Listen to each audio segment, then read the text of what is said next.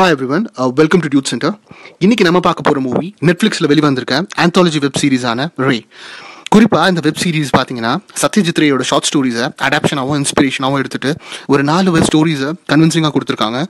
இது முதல் ஸ்டோரி என்னென்னு பார்த்தீங்க அப்படின்னா ஃபர்கட் மீ நாட் குறிப்பாக இந்த ஸ்டோரி என்னென்னா ஒரு சைக்கலாஜிக்கல் த்ரில்லர் ஒரு பிஸ்னஸ் மேன் கம் ஆண்டர்பர்னர் அவரோட ஃபாஸ்ட் பேஸ் லைஃப்ல இருந்து எப்படி ஒரு சீரீஸ் ஆஃப் ஈவெண்ட்ஸ் அவரை நிலைக்குள்ளே வைக்குது அப்படிங்கிறது தான் இந்த கதையோட கருவே இந்த கதையில் கோபம் துரோகம் குற்ற உணர்ச்சி சுயநலம் இப்படி பல தரப்பட்ட சீக்வன்சஸை உள்ளடக்கி ஒரு கதையின் களமாக கொடுத்துருக்காங்க.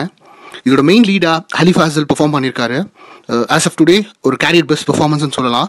இந்த ஸ்டோரியை ஒரு ஒன் லைனில் முடிக்கணும்னா shoot minded turns out to be a mad minded சிம்பிளாக சொல்லணும்னா குற்றம் செஞ்சால் நெஞ்சு குறுகுறுக்கணும். அப்படி இல்லைன்னா கிறுக்குனா தான் ஆகணும். செகண்ட் ஸ்டோரி என்ன அப்படின்னு பார்த்தீங்கன்னா இட்ஸ் பஹ்ருப்பியா இந்த கதை என்ன அப்படின்னா ஒரு ஹீரோ லோ மிடில் கிளாஸில் ஒரு மேக்கப் ஆர்டிஸ்டாக இருக்கார். ஏழ்மை இயலாமை இதெல்லாம் எப்படி அவரோட இயல்பை மாற்றுது அப்படிங்கிறது தான் கதைக்கிழமை கே. மேனன் தான் அந்த மெயின் லீடாக பெர்ஃபார்ம் பண்ணியிருக்காரு முக்கியமாக ஏழ்மை சிலருக்கு திறமையை கொடுக்கும். அப்படி அவங்க பாட்டி மூலமாக அவருக்கு கிடைக்கப்பெற்ற அந்த ப்ராஸ்தட்டிக் டேலண்ட்டை வச்சு தப்பான செயல்களில் இறங்குறாரு. அப்படி ஒன்று தான் அவருக்கு தேவைப்பட்ட முகமாற்றம் பண்ணிக்கிட்டு ஏமாத்த ஆரம்பிக்கிறாரு. இதனால் இயற்கை அவருக்கு என்ன பண்ணுதுங்கிறது தான் கதையின் தன்மையே. ஒன் லைனில் சொல்லணும்னா அகத்தின் அழகு முகத்தில் தெரியும்னு சொல்லுவாங்க. அவரோட அகம் போலவே முகமும் மாறுனா கதையை பாருங்களேன். இந்த ரெண்டு ஸ்டோரியுமே directed by Srijit Mukherji second ஸ்டோரியில் த கலர் அண்ட் டோன் கொஞ்சம் உறுத்தலாக தான் இருக்குது but it's one time watchable on the second story but well done on the first story good good work Srijit மூணாவது ஸ்டோரி என்ன அப்படின்னா it's Hungama Hai Kyon Barpa directed by Abhishek Chaubey இந்த கதை பார்த்தீங்கன்னா ஒரு சட்டரிக்கல் காமெடி மெயின் லீட்ஸாக வந்து Manoj Bajpai and Gajraj Rao play பண்ணியிருக்காங்க கிளிப்டோமேனியாக் டெண்டன்சிஸோட ரெண்டு பேரோட பயணம் மற்றும் வாழ்க்கை மாற்றம் தான் இந்த கதையின் கருவே கிளிப்டோமேனியா அப்படிங்கிறது திருட தூண்டுற ஒரு குணம்.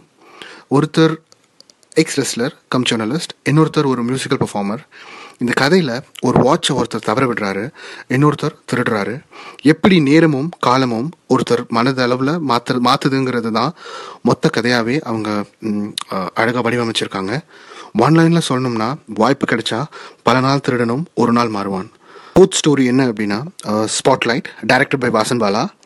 இந்த ஸ்டோரியோட கதை ஒரு பட்டிங் ஆக்டர் நிறைய கிரிட்டிசிசம் ஃபேஸ் பண்ணுறாரு அவரோட லுக்ஸ்க்காக இருக்கட்டும் இல்லை அவரோட கிரேசியான ஆட்டிடியூடாக இருக்கட்டும் இல்லைனா அவரோட irrelevant நேச்சர் அஸ் அன் ஆக்டராக இருக்கலாம். இப்படி நிறைய கிரிட்டிசிசம் ஃபேஸ் பண்ணிட்டுருக்காரு இப்படி ஒருத்தருக்கு ஒரு சந்தர்ப்பத்தில் தீதின்னு ஒரு ரிலீஜியஸ் பர்சனாலிட்டினால இவரோட ஸ்டார் இமேஜ் உடைக்கப்படுது. இதனால் இவரோட படம் ட்ராப் ஆகிற லெவலுக்கு போகுது. கேர்ள் ஃப்ரெண்ட் விட்டு போகிறாங்க இது எல்லாத்துக்கும் அந்த டிடிங்கிற பர்சனாலிட்டி தான் காரணம்னு ஒரு வெறுப்போட அவரும் அந்த டிடியை சந்திக்கிறாரு. அவர் இழந்தது அவருக்கு கிடைச்சதா இல்லையாங்கிறது தான் இந்த ஸ்பாட்லைட் ஒன் லைனில் சொல்லணும்னா இறை நம்பிக்கை தேடலோ புரிதலோ இல்லை அது உணர்தல். கொஞ்சம் ட்ராக்டு ஃபீலாக கண்டிப்பாக இருக்கும் but still it's one time watchable Harshvardhan Kapoor தான் படத்தோட ஹீரோவாக பண்ணியிருக்காரு.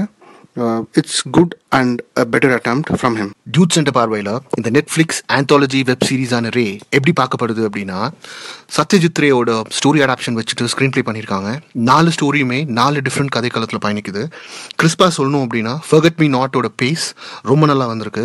பாஹ்ருப்பியாவோட colour and tone Hungama Hai பார்பாவோட பார்ப்பாவோட சட்டாரிக்கல் காமெடி மற்றும் ஸ்பாட்லைட்டோட டிவைன் ஆரா எல்லாத்தையுமே கலந்து கட்டி ஒரு காம்போவாக கொடுத்துருக்காங்க.